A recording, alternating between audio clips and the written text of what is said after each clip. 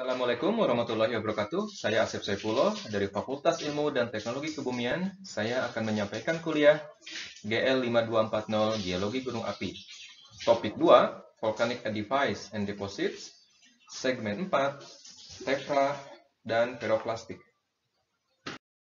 Hampir pada semua bangunan tubuh gunung api atau volcanic edifice terbentuk dari batuan vulkanoklastik yang terdiri dari bagian-bagian magma yang terbentuk saat terjadinya letusan eksplosif.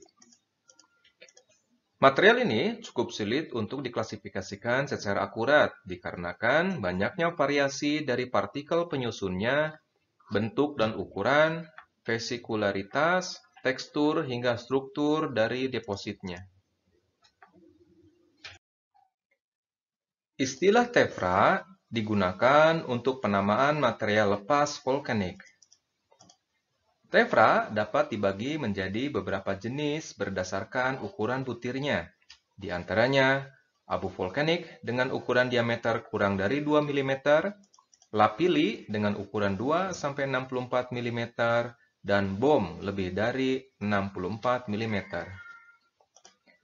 Material lepas ini apabila mengalami litifikasi maka akan disebut sebagai tuf. Material abu berukuran halus akan sangat mudah terlitifikasi menjadi tuf dikarenakan mengandung volcanic glass yang bersifat thermodynamically unstable, yang mudah bereaksi terhadap air. Gambar-gambar di kanan ini menunjukkan deposit dari tephra, di mana di situ menunjukkan adanya pola-pola perlapisan, sebagai indikasi dari mekanisme pengendapannya. Di bagian kanan bawah ini menunjukkan bentuk-bentuk dari tephra secara fotografik dari jarak dekat. Sedangkan tiga gambar lainnya diambil dari jarak yang relatif jauh dari kamera. Tephra dapat tertransportasikan dari ven gunung api dengan berbagai cara. Kasus yang paling sederhana adalah ketika terbentuk awan abu yang kemudian partikelnya jatuh dan membentuk fallout deposit, di mana akan memiliki sortasi butiran yang baik. Lapisan yang terbentuk dari proses ini akan mengikuti morfologi tempat terdepositnya.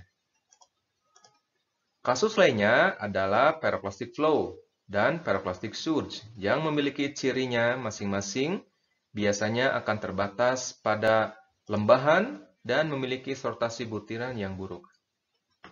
Tiga gambar di ini menunjukkan mekanisme keberadaan dari tephra yang berasal dari abu vulkanik.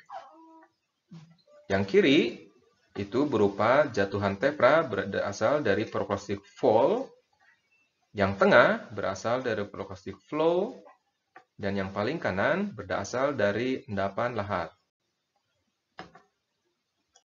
Demikian kuliah GL 5240 Geologi Gunung Api topik 1.